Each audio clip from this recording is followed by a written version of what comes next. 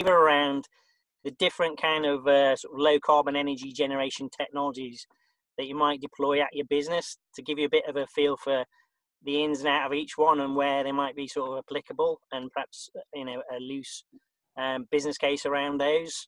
Um, so throughout, please post any questions um, via the chat function. So if you um, go to the bottom, there's a there's an option to post um, chat in form of a text. If you put your questions um, in that format, and the speakers will pick them up as they go along, or perhaps leave them to the end, depending on if, if that's more appropriate. Because we will allow about five minutes at the end to have a have a Q and A session anyway. So if you could do that, and also just to remind you that uh, basically we'll be recording these sessions as well and putting them on our YouTube channel so that any businesses that weren't able to attend will be able to to, to watch them at a later date. So without further ado, I will hand over to Chris Atkinson from uh, Worcestershire County Council to talk about the various support mechanisms that are available. Thank you, Simon. Um, welcome everyone. I'm going to quickly um, talk about the funding available for renewable technologies through the low carbon operation uh, opportunities program. I'm involved in the business energy efficiency program and low carbon opportunities program from Worcestershire County Council. Um, I just want to provide you with a bit of um, wider context first. It's a, it's a really good time to be involved in sustainability and clean growth there's a lot of funding and support available in Worcestershire and, and the Marches, whether you're looking at energy efficiency advice um, or renewables, or even thinking more about biodiversity in, in, your, in your business. There's a lot of funding, there's a support out there, there's a list of opportunities down there. But there's also quite a lot of people involved as well. So it's, it's a, a, good time and it's a, it's a little bit of an ecosystem building up in Worcestershire and Herefordshire to sort of help you as, as well. Lots of, sort of businesses involved in this sector. Um, but we'll move on to talk particularly about the Low Carbon Opportunities Programme. Um, so this is a funding strand that's been going for three, three, three or four years. We're into the second phase now. Um, it provides businesses, um, SMEs in Worcestershire with free advice and grants to help um, them become, become, look at renewable technologies, um, decide on the, on the best re renewable technologies to install themselves, and put together a business case um, involves two main aspects, which is free advice from our advisors, and we've got one of our advisors, John Wade from Briar Associates today, to talk you through some of the particular various renewable technologies, and also grants um, to help this become more, more affordable. And the grants, you know, they go up to £100,000, um, so you can make a significant difference on some big installations on the low carbon opportunities program. Uh, and the advice itself, looking at the renewable um, opportunities, is free. And If we go on to the next slide, please. Um, this is a little bit more information about the renewable energy assessments themselves. Um, often an underestimated part of the program, but actually it helps businesses sort of benchmark and establish what they what they need, what's the most appropriate renewable system for themselves. The advice is independent and free, and actually puts businesses in a good position to make those decisions on how, how to spend the money. And we often get businesses at the end of the program tell us that this part of the program has actually been um, invaluable. Um, and then hopefully uh, they're in a good position to go on to apply for a grant. So the grants themselves, um, the technologies um, that we can fund in the renewable energy generation part of the low-COP program. Um, typically, we fund a lot of solar PV systems, but we'd also like to see a lot of biomass um, and, and ground source heat pumps, better use of heat. Um, and John will go on to talk a little bit more about those. Um, at this stage, it'd also be good to mention for anyone who's in Herefordshire, Shropshire and Telford, um, Herefordshire Council run um, Marches Renewable Programme, which gives funding for low carbon projects, um, similar to what we do on, on low carb. Um, actually, a more generous rate of 50%, so that's also um, worth looking into if you're in, in those areas. And moving on, um, the process itself is, is quite easy. Um, it's a simple process to register. There are eligibility. Um, it is ERDF. We, we do assess those internally. Um, assuming you're eligible, we assign an energy advisor from Briar Associates to arrange a visit. Um, they'll work with you, to provide you with a bespoke report to help you make that business case and then apply for a, grant for the programme. So hopefully that's given you a very quick five minute um, whiz through of the low carbon opportunities programs on the renewable side of this. There are two elements of low carbon opportunities program, but that is renewable side of the program. If you've got any questions, please ask or contact me afterwards. I'll now pass on to John, who will talk a little bit more about the technologies themselves and how you can potentially use the grants.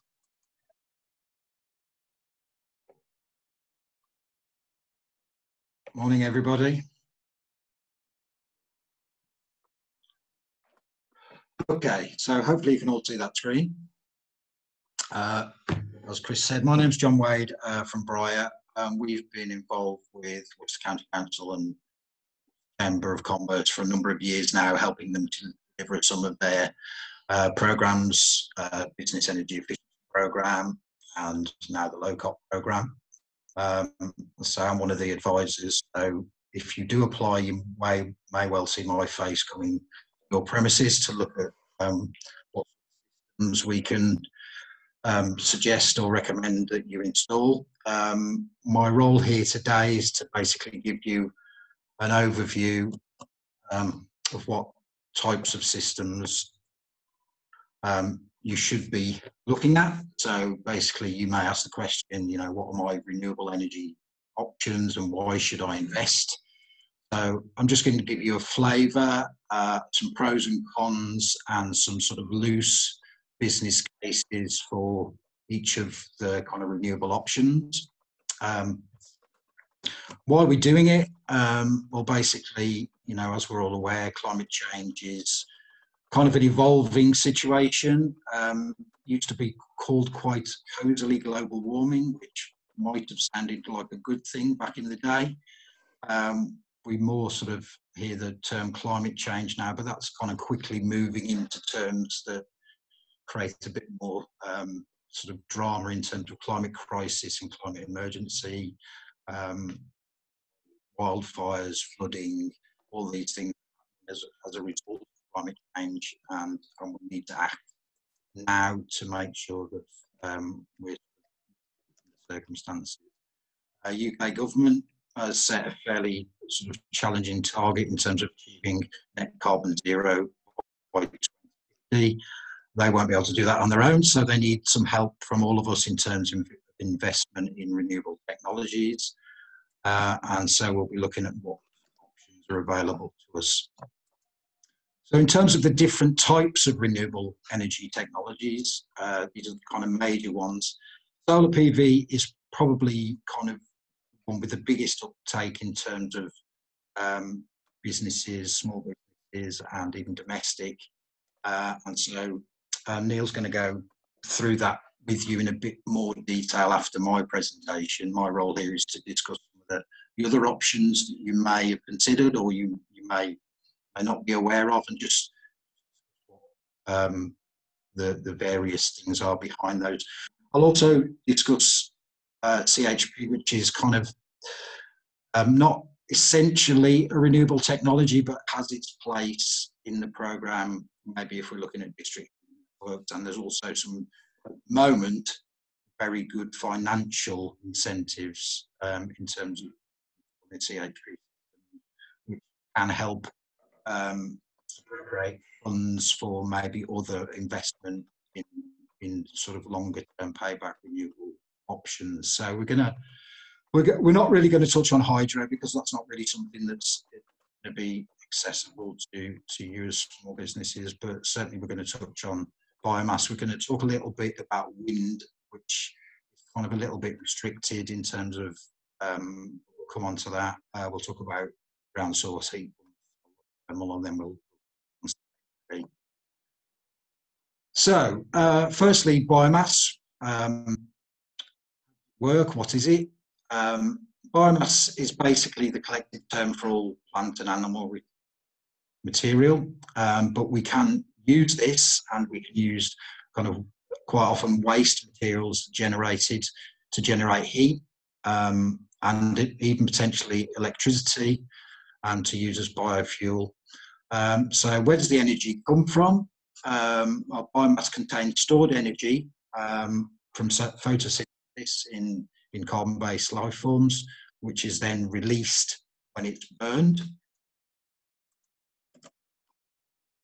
So in terms of the business case for this, where would we typically use it? Um, most times we think about biomass, we think of uh, sort of wood chip boilers, log burners, those kind of things. Um, and typically it's best suited for users that kind of have a continuous light heat load. It's not um, something that is, it's getting better. It's in the past very good at being sort of a, uh, being applied to a, a, heat load that varies a lot. So what you may well do with a biomass boiler is have it to or your base heat load and then maybe a, gas boiler to provide periods where you may have much higher heat load such as the so typically it may be applied to to businesses and and operations that have a continuous heat load throughout the year. So that might be a high domestic hot water load in situations, maybe um, hotels and things like that. Uh, similarly with um, swimming pool environments. So, but it has been also applied in a, in a lot of school environments um, um because biomass again is relatively in terms of the fuel, it has been relatively cheap compared to gas. That's not necessarily the situation now, um, but because uh, gas prices have gone down so much. Um, so if you are considering biomass, you should definitely check um, with your local biomass suppliers uh, the, the availability of fuel in terms of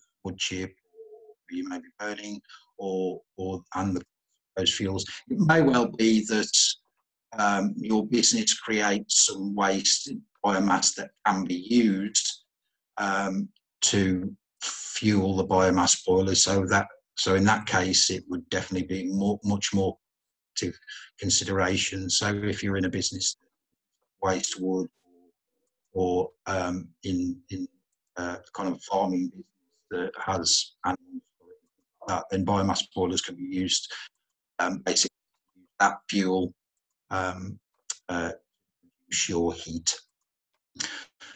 One thing you have to be quite careful of with, with biomass is um, there can be a, a logistical issue. They ne generally need much more space and the gas boiler you'll be replacing. So you should be assured that you've got enough room for the boiler.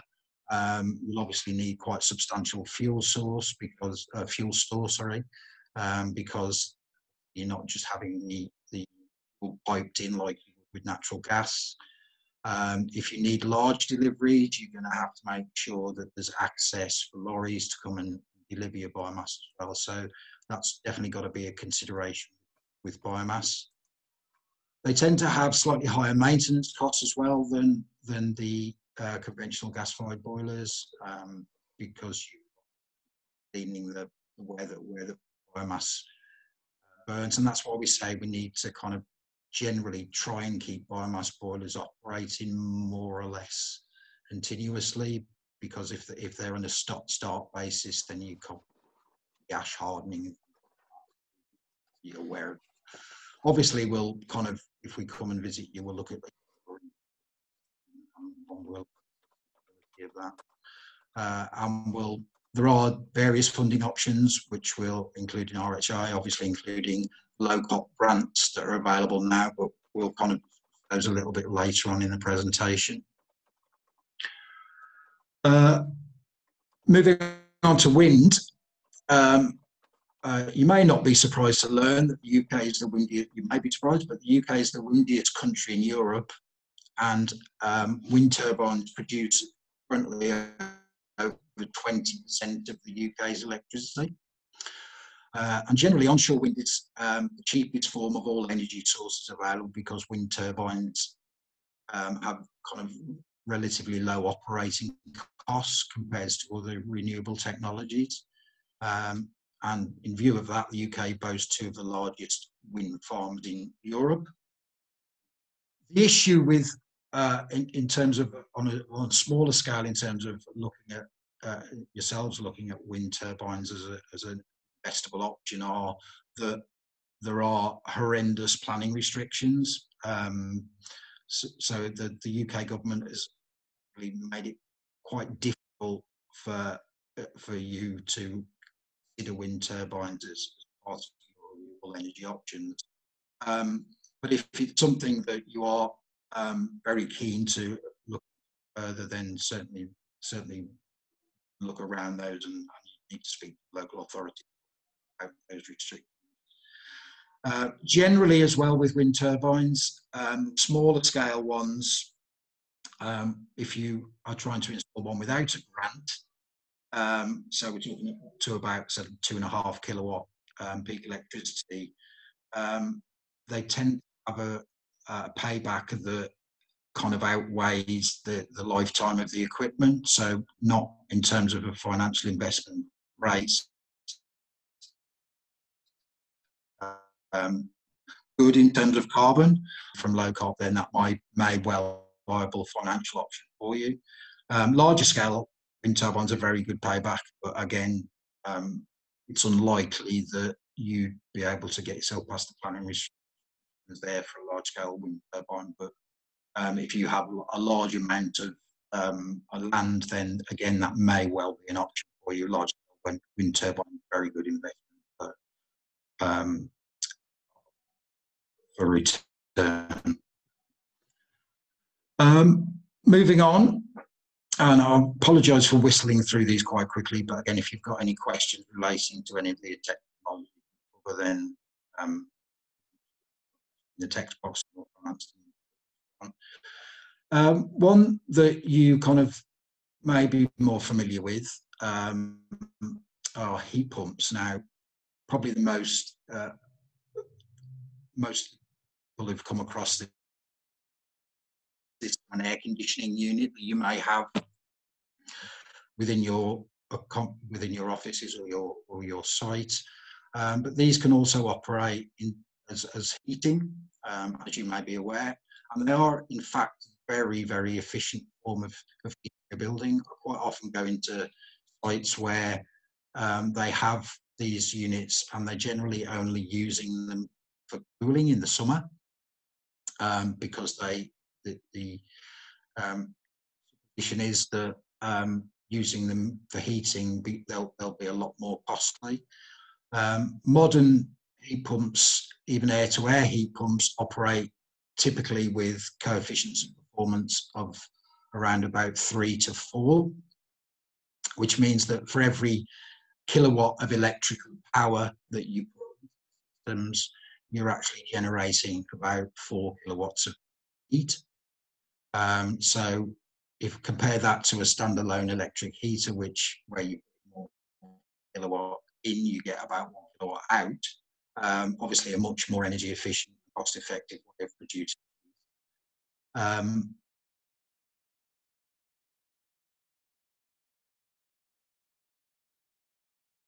them in terms of cost because of the low costs of gas at the moment compared to electricity.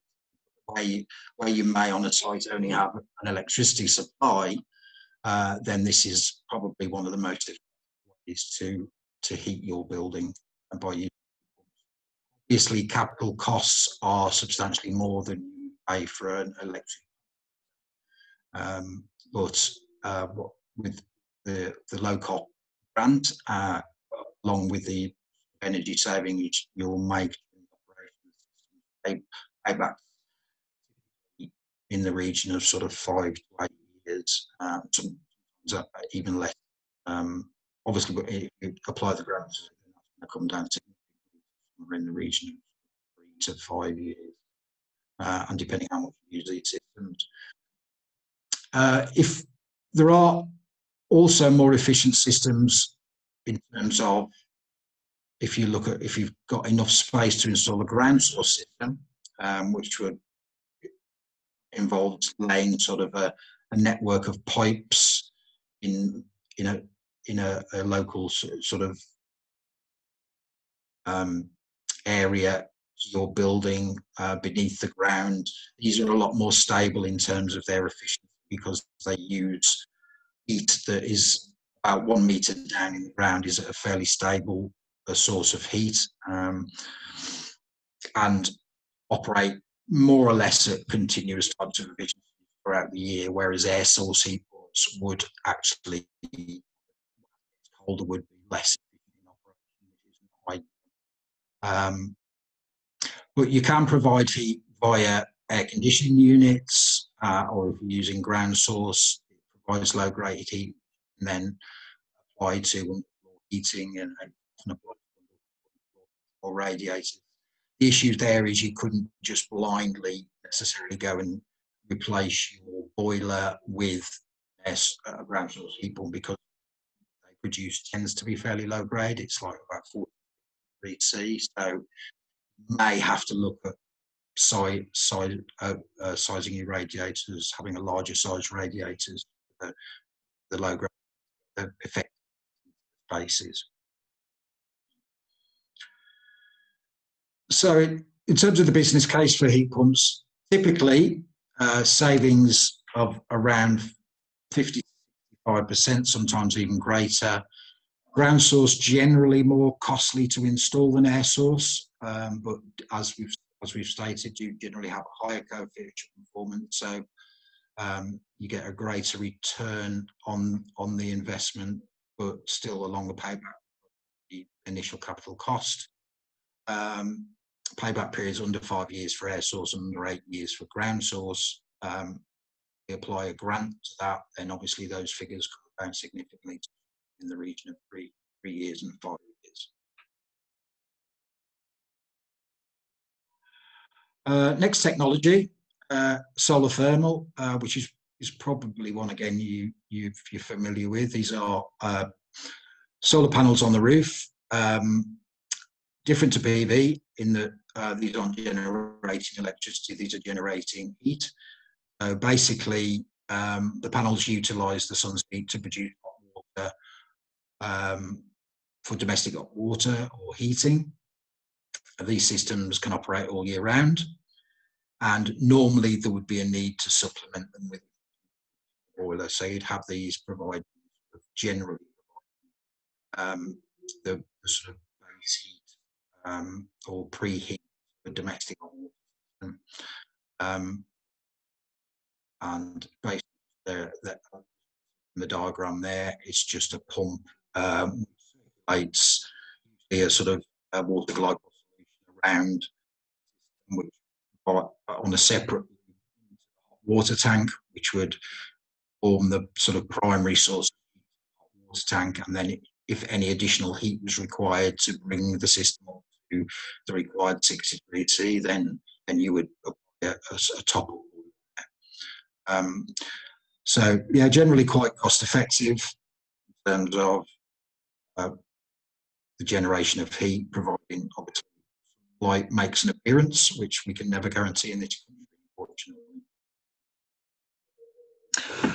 Uh, moving on, combined heat and power. Um, now, going back a few years, this was provided um, and was heavily invested in because it provided very good, um, provided you with a very good reduction in your CO2 emissions and also generally um, was a very good financial investment. Fortunately, or fortunately, which which depending on which way you look at it, um, because um, the uh, grid factor in terms of the carbon emissions on the grid have come down substantially over recent years. They've more than halved in the last five to seven years. It's not such, if we're looking at it as a kind of a carbon saving investment, option um, because whilst the electric the grid factor electricity emissions from electricity generated by the grid has come down substantially, obviously grid for burning for burning natural gas has stayed the same so uh, the way these work basically is generally um, if you uh, buy your electricity power station power station is in fact is to all intents and purposes the same as a CHP engine. Um, but they're only roughly in the region of 30% efficient.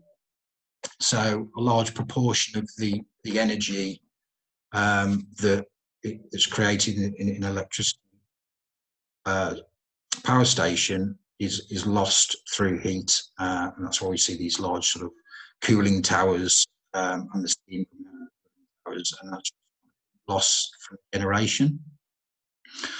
Um, so we, we're tending to get maybe sort of maybe 40% power out of those with, with 60% losses.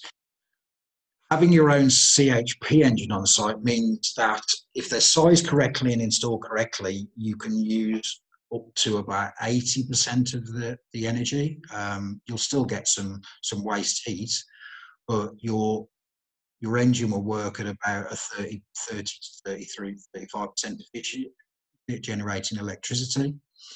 Um, and providing you size, their size correctly, you can then utilize the waste heat to provide your um, heat for your building as well.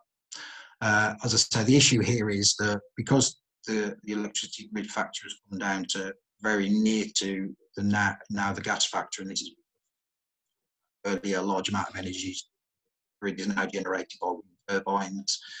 Uh, and there's an element of nuclear. Uh, we've also got all the people that UV feeding back into the grid as well, some energy. So, so the risk factors come down considerably, uh, much closer to gas. So a waste energy from your CHP plant, um, you kind of, if you're using all the heat, um, then you're kind of about breaking even, maybe slightly reducing your carbon impact on the environment by using a CHP. Um, so the most significant opportunity for CHP is where the the site has uh, a good base heat load, and you should size your CHP to that base heat load so that you're using your uh, waste heat all the time and not just rejecting it like a power station would. Uh, uh, typically, it's used by organisation with a demand. Um, just very quickly, and we'll have to move on because it's my time.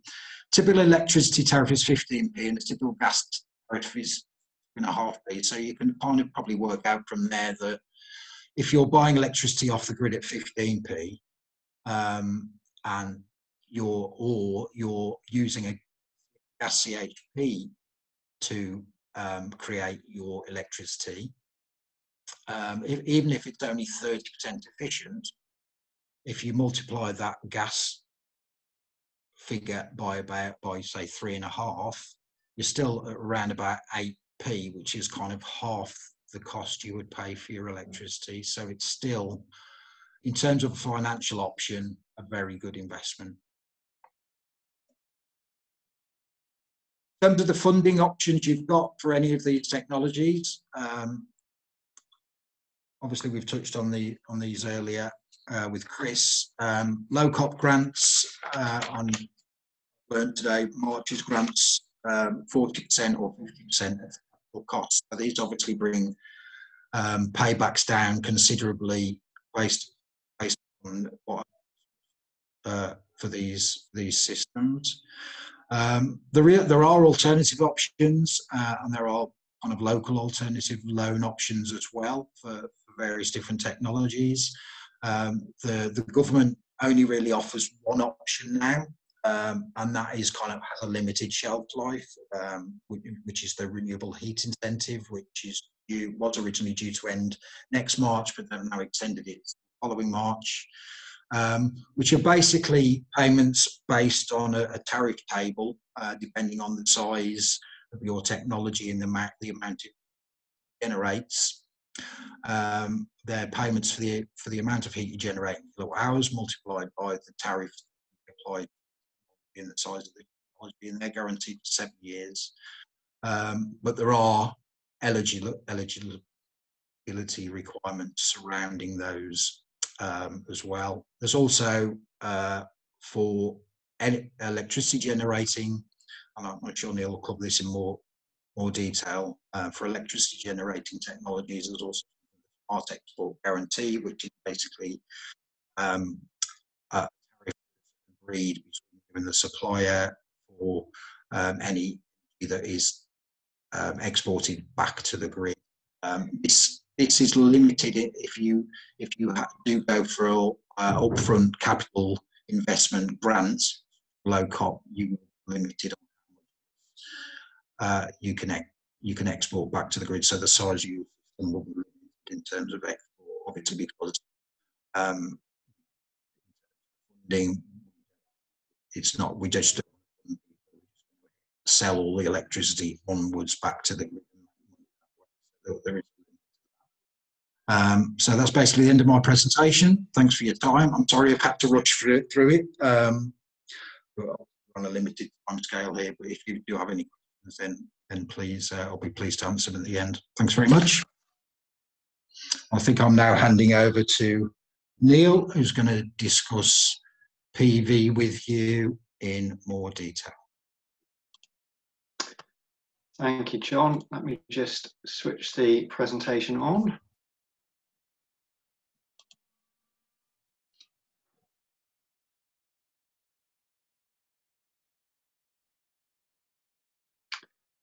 Okay, has that come through for everybody? I've turned your faces off so I can't see any nodding yet. I see a nod from John there, thank you. So um, good morning all, my name's Neil Stott. I'm the Business Development Director for MyPower. We're a, commercial uh, solar uh, designer and installer based in Gloucestershire. And our focus is, is primarily to help businesses reduce their energy costs and their carbon footprint. And I've been asked today to, to provide some uh, insights about how to start uh, a solar PV project and uh, also outline the benefits and some of the considerations uh, for this low, uh, low cost uh, clean energy source. So just a little bit of background on us. Um, we've been in operation since 2010 and we've successfully installed over 13 megawatts, primarily rooftop. Some, there is some ground mounted in there, um, uh, over the last 10 years and uh, utilised over 50,000 panels. Um, some of the pictures on here you may or may not recognise. There are a number of um, Worcestershire-based businesses on there, and also uh, an installation that we're very proud of, uh, which is a, um, a 38 kilowatt uh, installation on Gloucester Cathedral. So that's 150 panels on the uh, the site there. Um, one of the things that our customers really value is our approach to sort of understanding their objectives and providing them with a clear view of the, the best options to meet their goals. So that's where I'm going to start today. Um, very simply, um, the main drivers for looking at solar PV are typically cost reduction and reducing carbon footprint. Um, however, it can be it can be uh, useful to uh, support an ISO accreditation um, or, or, any other sort of environmental uh, level of accreditation, uh, as well as making quite a visual statement to both your customers and, and your employees in terms of your uh, climate change uh, actions and, and so on. But usually there's a um, there's a, a bedrock underpinning all of these goals, which is which is on the commercial front. So uh, our customers are typically looking to achieve a level of return of investment, and that's what the um, from a finance point of view, uh, our, our, customers really uh, really look at. And you've got a number of metrics there, which looking at sort of long or, or short term type returns. So, uh, firstly, hopefully some of this stuff will be relatively straightforward for you, but why should you consider solar PV for your business? Um, first and foremost, it's, it's a clean energy source. Uh, hopefully uh, you don't need uh, me to go into the detail of climate change. There are lots more qualified people out there who uh, who deliver this message much more eloquently. Um, but it is a, a, technology, a low carbon technology, which will help your business tackle climate change. The other element, as I mentioned, is is the savings side of things, and um, PV. Very simply, on a high level, um, heard John talk about sort of 15 pence per unit from the grid, a typical energy price. Uh, and typically, when you you cost up your solar PV and electricity there, you're looking at about five pence per unit to generate. So, as, as we one of our strap lines is solar, it's clean, it's green, and it's a, a third of the price of grid supply. So there's quite a an opportunity there to uh, to save save money for your business. Um, the other elements to consider are, and why PV is, is a, a, a, relatively straightforward choice, is easy implementation um, relative to some of the other technologies out there. So typically you don't require any sort of civil engineering uh, in the main. From a planning point of view, uh, uh, it's relatively straightforward, uh, even for the larger systems.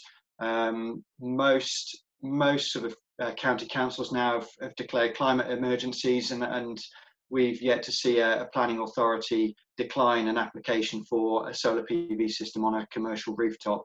Uh, essentially, it's a brownfield site, so we would be surprised if they were to uh, they were to challenge that.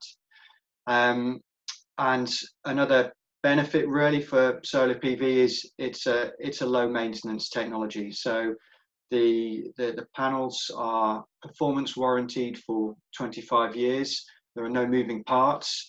Um, and at the end of those 20, or at that 25 year point, uh, the, the typical high performing panels are expected to be delivering about 80 85% of, of their year one generation in that, that year, year 25 point.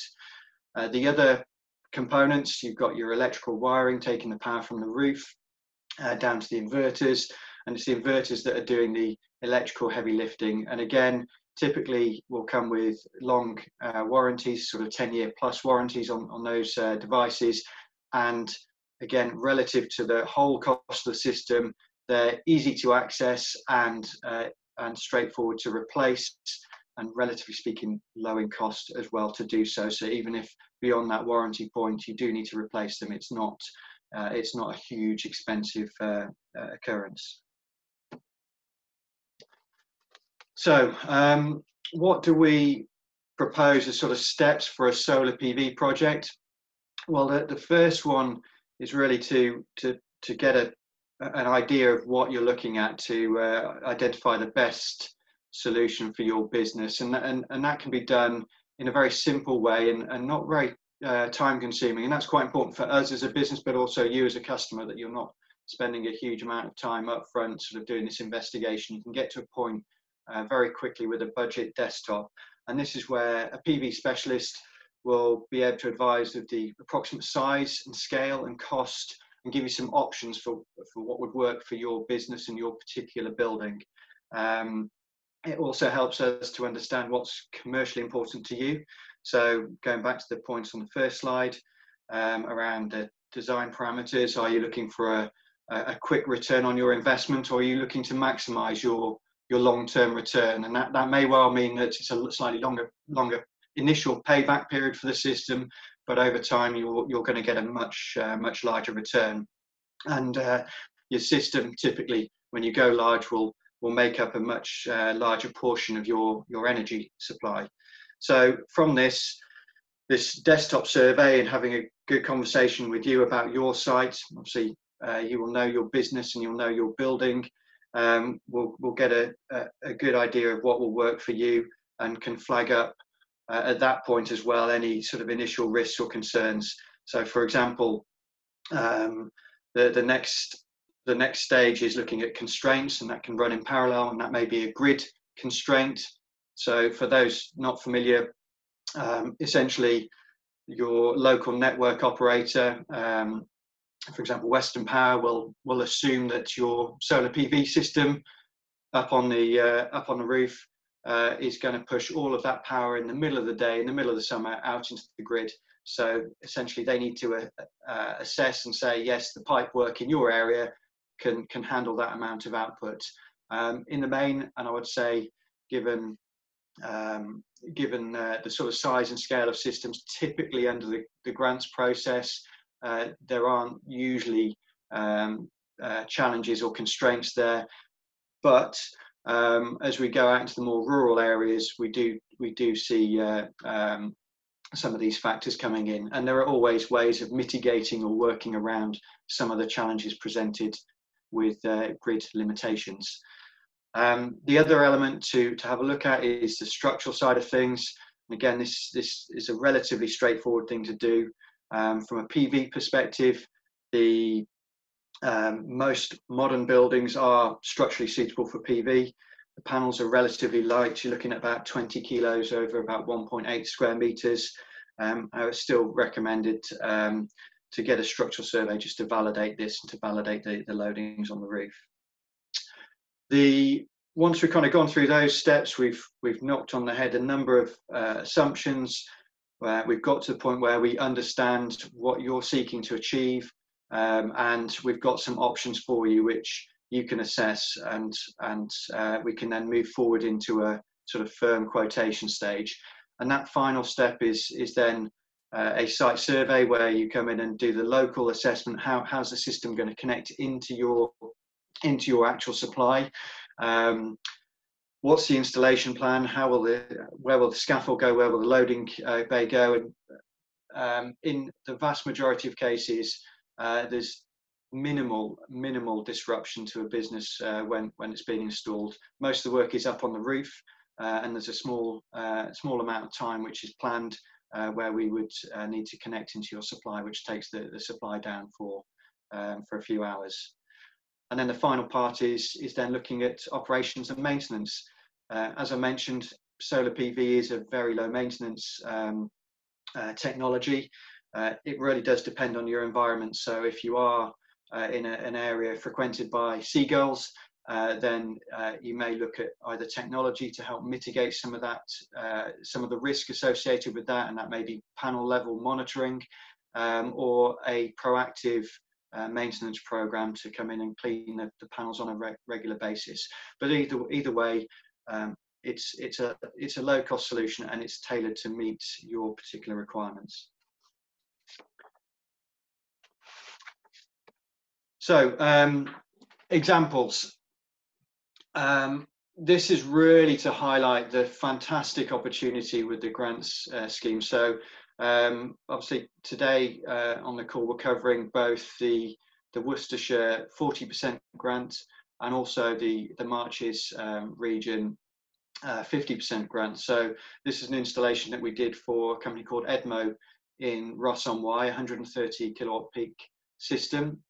And um, as you can see, they've saved a significant amount of uh, funds there, over £40,000 on their installation um, with with a system that's going to generate quite a significant proportion of their energy needs. They're quite a high energy user. The system's going to generate just over 120,000 kilowatt hours of uh, electricity for them per annum, and they're going to use quite a high portion of that on site because they're a, a six day a week operation and a, and a high consumer. Um, as you will see here, the the equivalent purchase price, the solar over over 25 years, including the operations and maintenance, um, is a fantastic rate without um, without the grant at 4.31 pence per kilowatt hour. But when you factor in the the, grant and the, the, price dropping to around 40,000 pounds, then you're at under three pence a unit, uh, which is which is fantastic. And the really positive thing here for solar and and uh, literally seeing this from the rooftops is uh, is that the, the, the cost of the energy source coming in, the cost of fuel isn't going to change. It's free. It's the it's the sunlight. It's been there for millions of years, and it will continue to do so. Uh, we hope for a good few million years more. Um, and uh, therefore, you're not going to see any variability there. That's that's taken that's that's taken out in terms of future fuel costs. Payback again, doing the simple calculations, and this is before any tax benefits, which I'm sure your accountants or FDs can uh, advise you on.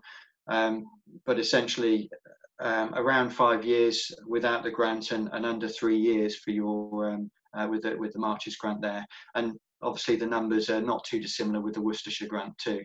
Um, again, uh, you can see the numbers there. Fantastic return on investment and um, a fantastic saving against that company's particular grid rate, which was just under 14 pence per kilowatt hour.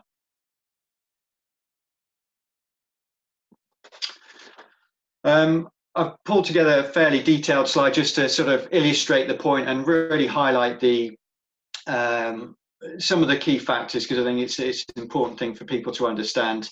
So um, at the top here, this is the system size. You've got the, the, the generation that we predict.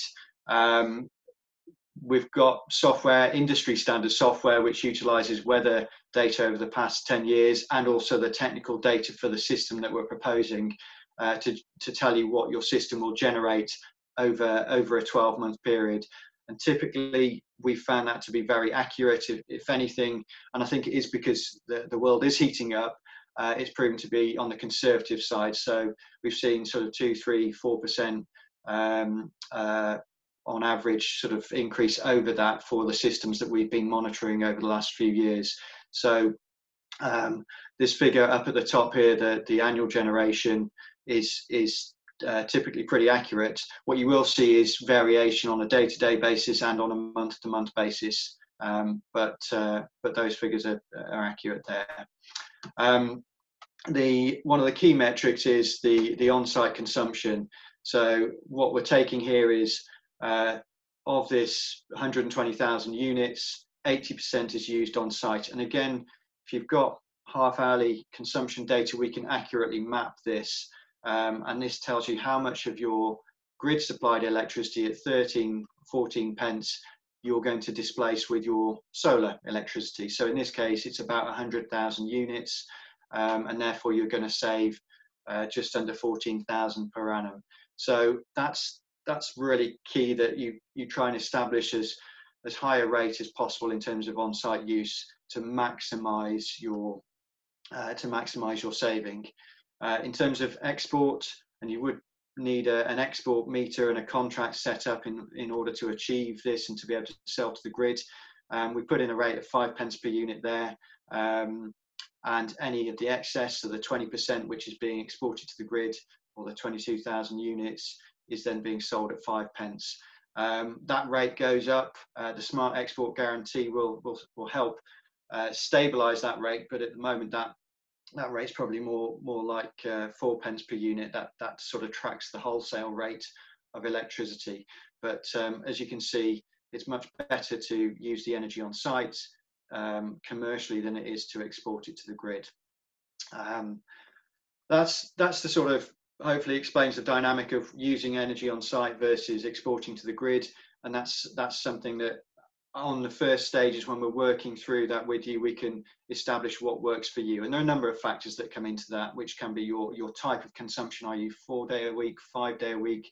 Do you operate at the weekends and things like that? The, the, the size of roof that you've got available are, are all factors that come into that play. Um, one of the uh, one of the key things here I wanted to share with you as well was around um, your your cost per unit. So you will have seen these units, um, the two 2.86 pence on the previous slide, and this is just a very simple illustration of how we get to that figure. So it's looking at what's um, the the output um, of the system over 25 years, the cost to maintain that system, and that's uh, um, for any solar experts on the call, that's actually quite a high cost per kilowatt hour in terms of maintenance, but we, we factor that in um, to cover all of the potential associated costs there to give you an equivalent here, which is, in essence, we like to think of that as a forward buying your electricity, forward buying an input into your business. Uh, and as you can see, it's a very cost effective way of buying your energy uh, and to do it through that way. The last point uh, I want to make on here is um, obviously it's not they're not small sums of money that uh, we're talking about in terms of investing in a commercial system. It's quite a sizable grant available to um, um, to support your business. Uh, however, if the capital or capital is a factor in terms of not wanting to um, uh, uh, use your use up your capital within your business, then financing options and asset financing options are available. And, and again, these can prove to be quite an attractive option, especially uh, with with a grant in place. So you can, uh, as you will see here, um, the savings uh, and, and, and income that you get from your system in the first year is about fourteen thousand pounds. Um, the cost of the uh, the loan and paying back the capital and an interest is about seven thousand pounds. So net uh, installing the system and financing it, you're, you're seven thousand pounds a year better off. So you're better off investing, borrowing somebody else's money to um, to install your system than you are doing nothing, which I think is a really, really powerful statement to make uh, for businesses because um, there's no planet B, there's no planet uh, as, as outlined. So um, it's a it's a great way forward. So this brings me just on to just to sum up really. Um, starting a renewable project, my and, and our advice would be to establish what your focus is, and and in doing that, is you get a pull together a, a, a budget es estimate from a specialist, um, identify what sort of returns you're looking to achieve, how much carbon you're looking to reduce, and how much of your supply um, you're uh, targeting to sort of reduce uh, and, and supply with your own electricity. Then identify any potential constraints, which again um, a designer and installer will, will will help you with, whether that's grid constraints um, or other technical constraints on, on your site. Um, and then the next and final step is is the sort of detail, which is working um, working up a plan to uh, minimize impact on your business and to uh, install uh, ensure a, a, successful installation. So solar PV from uh, is a low cost form of electricity, typically four to five pence per unit. The payback period is typically five to seven years, and, and please bear in mind that's on a technology that um, in most cases will outlast the length of uh, the, the, lifetime of or lifespan of your roof. So they're warranted for 25 years, the panels to perform at high level and will continue beyond that point. And typical return on investment is, is 15% plus. And that's before all of these figures are, are, are before you, you go anywhere near a 40 to 50% grant. So the fact that um, uh, this funding has been made available is a really, really fantastic stimulus to drive carbon reduction and, and this low carbon technology. It's it's a fantastic investment for businesses. Um, that's that's me. Thank you for your time. And if you do have any questions, um, please please do ask. Thanks very much, Neil. If you uh, stop sharing your screen, then we'll uh, we'll take some questions. There's there's quite a few been posted actually. Um, uh, there was one around basically the limitations of buildings to support um, PV arrays. I, am assuming that's a bit of a how long is a piece of string question because it will vary massively from building to building. But I don't know if you want to comment on that, Neil. Sorry, what was the the, the question? The... Um, if you look on the uh, the the comments, you can see see it. I can't. It was quite early on. Um, can't remember find the exact wording. Where is it? So um, I can't see the question. I'm just sort of scrolling through here. Um, I mean, in, in terms of the restrictions, obviously you've got you've got planning restrictions, and we we install in. Um, so, firstly, Gloucester Cathedral, you're not going to get more um, planning restrictions than say on Gloucester Cathedral. Uh, it's a grade one star historic building. Um, so I'd say from a planning point of view, the it's much much more flexible than it than it used to be. Um, the second thing is mo most commercial buildings uh, and industrial parks. It's not it's not a factor, and it is a uh, it's a matter of process as opposed to a, a real risk on the application. Uh, when you get out into um, obviously the areas that we live in, lots of outstanding areas of natural beauty, then there are there are slightly higher um, requirements in terms or, or, more stringent rules for planning there. But again, it's a it's a case of following due process. So we've installed on a number of agricultural buildings within uh, area of outstanding natural beauty, and and and it, you just follow due process, and and it's uh, we haven't had one rejected. Uh, let's put it that way. Okay, great. And in terms of structural suitability, do you come across many buildings where structurally they're not they're just not sound enough?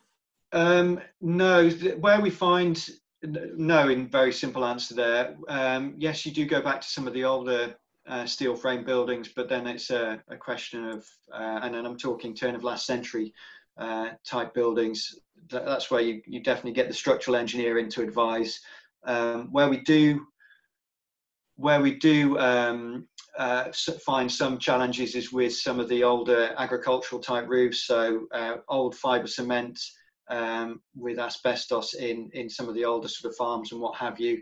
They're typically very brittle roofs, so on, on that front, normally would advise to overclad uh, and and, and if, if it's a type of building that would benefit from insulation that works quite well as well. So we've done that before where we, we, uh, they would re renovate their building they would insulate it uh, with an overclad roof and and then we would install it on, on a new roof. Um, some some farmers it's it's on a on an old barn and it's not a factor for them. It's a the, the roof doesn't need to be watertight etc etc and again but it's from our point of view it's you want the roof to be able to last as long as, as the panel. So it's it, it, it's a very quick one to pick up and it's done at that sort of budget stage where we can see the roof we get a good visual from Google Earth, or the customer knows that they've got a, a 40 year old uh, fibre cement roof. Okay, great. Um, yeah, and John, there was a couple of questions around sort of particulates and air quality related to biomass. Uh, anyone, if you'd like to comment on that.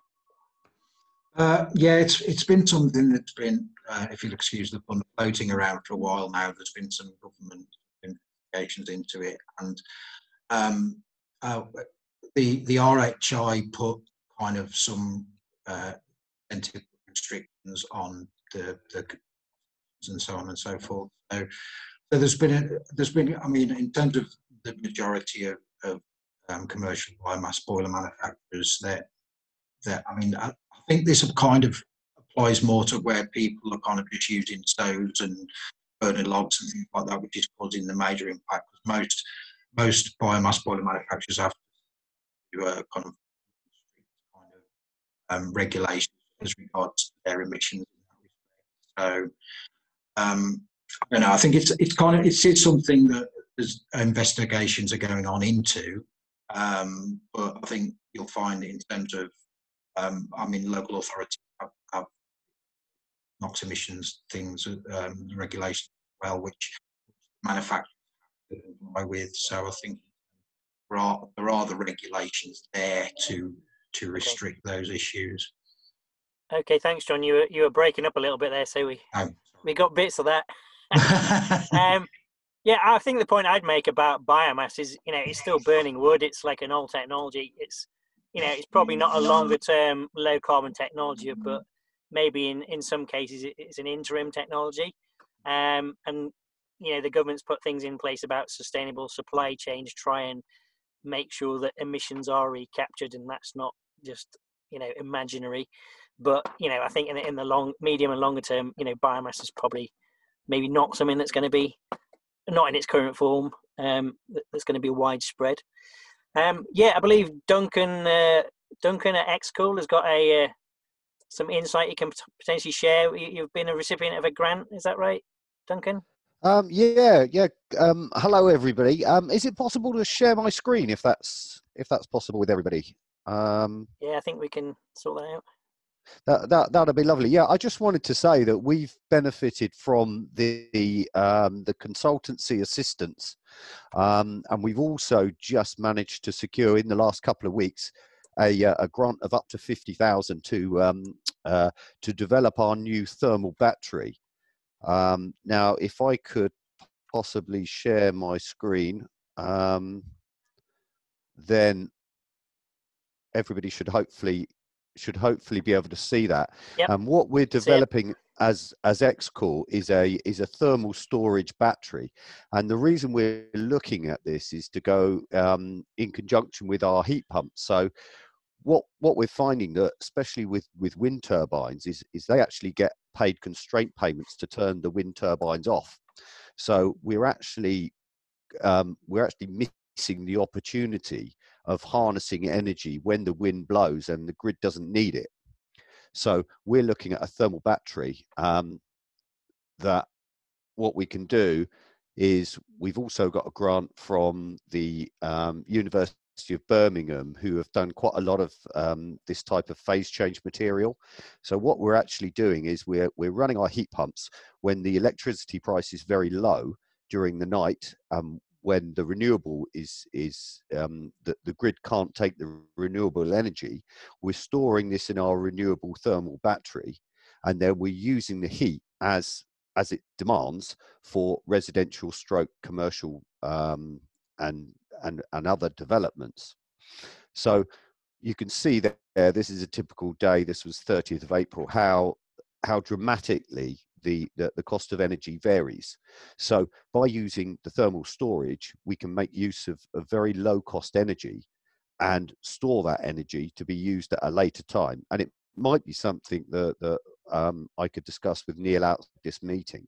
So what we're doing now is we're developing this thermal battery that will um, that will balance the um, the grid to suit any overcapacity. We're obviously producing heat um, at, at, a much lower cost than you would do using a standard heat pump. And one of the other things that we've been looking at with a couple of developers is also is we can reduce the amount of boreholes and ground source because we can actually store the cooling to be used in a in a commercial stroke retail development. So we can reduce the size of the capital plant as well. So it's certainly something that that we've benefited hugely from from the grant um, from the grant that we've been given and the business assist we've been given. So it, has been a sort of success story from our point of view. So um, it's really uh, it's really something we're we're looking forward to progressing. So that was a low cop uh, technology development uh, innovation grant, was it? Is that? It, was yes, right. yeah. Well, we got both. We, we got the business assist and we got the um, low cop energy um, energy grant to develop our our thermal renewable battery, which we, okay, we, great. We, we, should hopefully be in about the position of about six to nine months be, be able to sort of that will be on the commercial market. So, so what kind of uh, scale of energy storage does it have? Or was it completely scalable from domestic to large commercial? Or? We would say, uh, I mean, at the moment we um, we manufacture packaged heat pumps from about 200 kilowatts up to the largest one we've done, which is about four megawatts. So just to give you a, a, rough example, in the residential market, that would be probably 50 flats, 25 houses, up to about 1,000 flats, 500 houses. Um, because we see this, and particularly interesting, you were talking about CHP, um, John, that the new draft London plan doesn't look very favourable on CHP. And um, if they if CHP is not accepted under the um, the Greater London Authority, then people have very limited options of where to go to. So yeah. heat pumps will be. I think you're right. CHP is very much a short term in terms of probably in in in, in uh, certainly in terms of long term um, carbon neutrality, it's, it's, it's, not. It's obviously burning gas. Well, I mean, obviously, and, and and sort of CHP fuel cells and things like that I think CHP will develop, not in the current form that the majority of CHP are with, with, with gas turbine engines. So yeah, yeah, ish for CHP in terms of the moment, but certainly not carbon neutrality. We're not we're not getting much of this, John. We're... Really? Oh God. um, yeah, thanks, Duncan, for that. That's, that's really interesting. Um, if you could unshare your, your screen. Um, has anybody else got any questions? Because I'm conscious we're running running over time now, and people might have to go on to other things. Any other questions? I just saw. I mean, it, I, see one of the questions around the, the, variations between the peak summer months and winter, um, and and just really uh, Duncan's point there around the storage technology and being able to move move to time of need is quite is is definitely a an important factor going forward as we bring more renewables onto the grid. So uh, talked about uh, the grid becoming cleaner, and that's that's driven uh, driven by wind and and by and by solar. Um, but obviously they're they're variable and when the sun's shining and when the wind's blowing.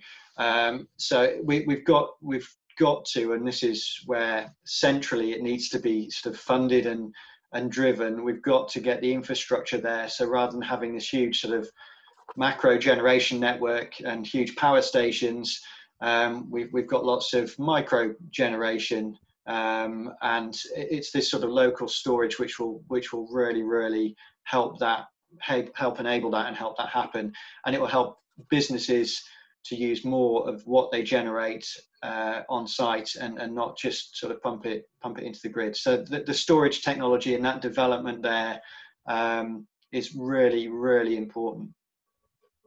So what are you, just to put it into context, would would you say something like twenty or thirty percent of the peak output in the winter compared to the summer? Is is that the kind of uh, yeah, I, on a sort I mean, of cloud, it's, cloudy, it's, horrible day? it's certain it's like a bell curve through through the year and a bell curve through the day is is the way of describing it. Um, but y- you are still producing some quite significant um, generation off your your large large systems in in the winter.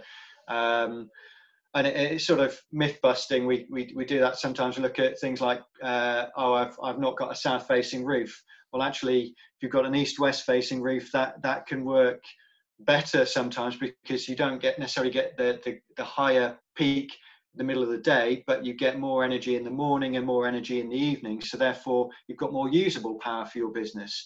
Um, and things like a north-facing roof, yes, you do. As long as you haven't got a ridiculously steep pitch, you will still get generation and, and a good level of generation from your north-facing pitch.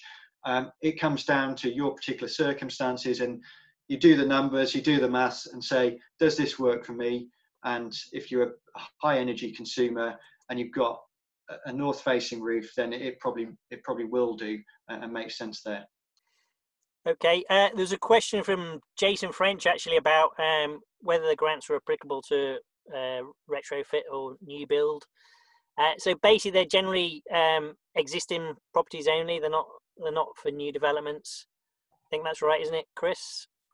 Yeah, just to sort of add to that, generally speaking, we, we can't fund things that to do with um, planning regulations or um, building regs or, or, things that conform to what you, what you can do. So, so generally, most of our grants are, for things that have been retrofitted, helping businesses with existing energy need.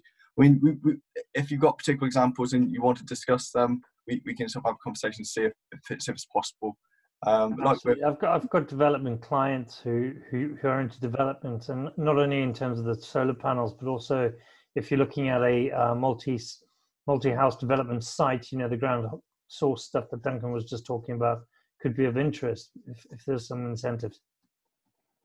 Perhaps we can pick that up outside of the meeting, um, Jason, if that's okay. Uh, where people are moving into an you know a not a new property, but a new to the business property. So if they're moving into a new site, um, it can be applicable then because there's obviously there's already an existing building with existing uh, mechanical and electrical equipment that we can basically use as a baseline to then you know retrofit something onto. So it, if it's an existing property that somebody's moving into, that that can potentially be applicable there. But if it, if it's a complete new build, then you know we're not, not they don't apply unfortunately. All right. Is there any other questions? Um, you know, we're sort of ten minutes or so over time, so I'm conscious of letting people get on with their day. Anything else on the the written questions? Oh, there's a question about hydropower, um, Chris.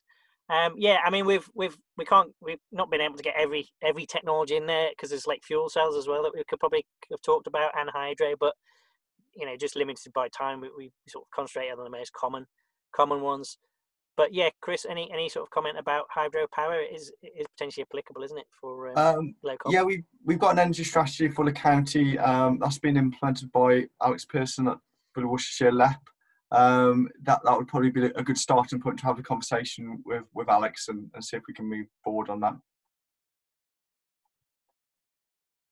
Uh, and there was a question here about the battery inverter. I'm not sure if that was related to a specific um, thing that Neil mentioned, was it, or or was this to do with what Stephen was talking about?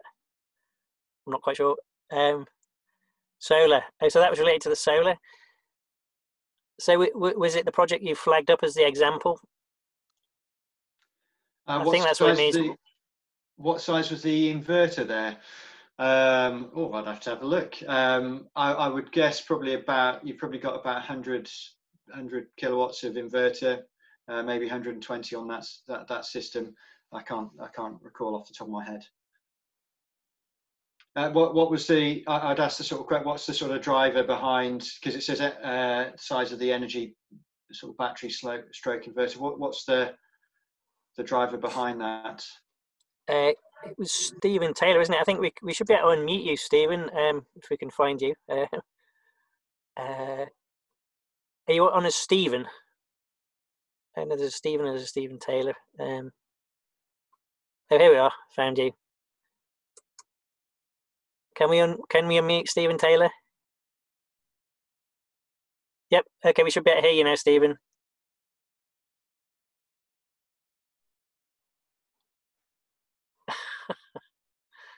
no, not getting anything. Uh, so for the for the cathedral, uh, so the size of the system in terms of panels there, it was a 38 kilowatt peak. Um, and again, that's most likely going to be a 30 kilowatt inverter on, on, on there. So, so you've got um, your panels are the, the maximum output. Uh, uh, so at, that's what they're rated at in lab conditions and so on. So that's where you get the size of 30, 38 kilowatt peak. So your panels, when you buy a, a solar panel on its own, um, you may be looking at say a 355 watt panel. That's what it will produce at its maximum peak. Uh, in terms of the inverter and what you size to there um, you, you, typically the, the, the size of the inverter or inverters is slightly less that, than than uh, the the overall panel size.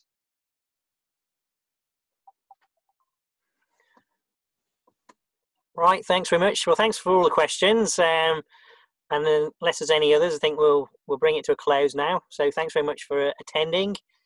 Um, basically, we'll probably have another another one sort of um, September, early October. Will probably our, our next forum, but we we've not actually uh, finalised that one yet. Um, so I'm going to ask a quick question about who to speak to. Uh, um, oh yeah, Alex, Alex Pearson. Um, yeah, we can send send you his details, Rebecca. Um, we can forward those to you. Um, just make a note of that so I don't forget. Rebecca Neal. Also, hi, it's Adrian here. Um, also, Tim, yeah. Okay, yep.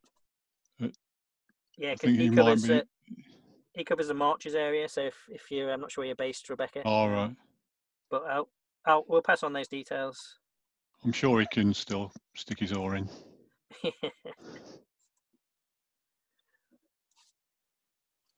Okay. Well, thanks very much, and um, hope to see you all again soon. Thank you. Thanks very much. Thank you. Bye. Cheers. Bye. Thank you, everybody.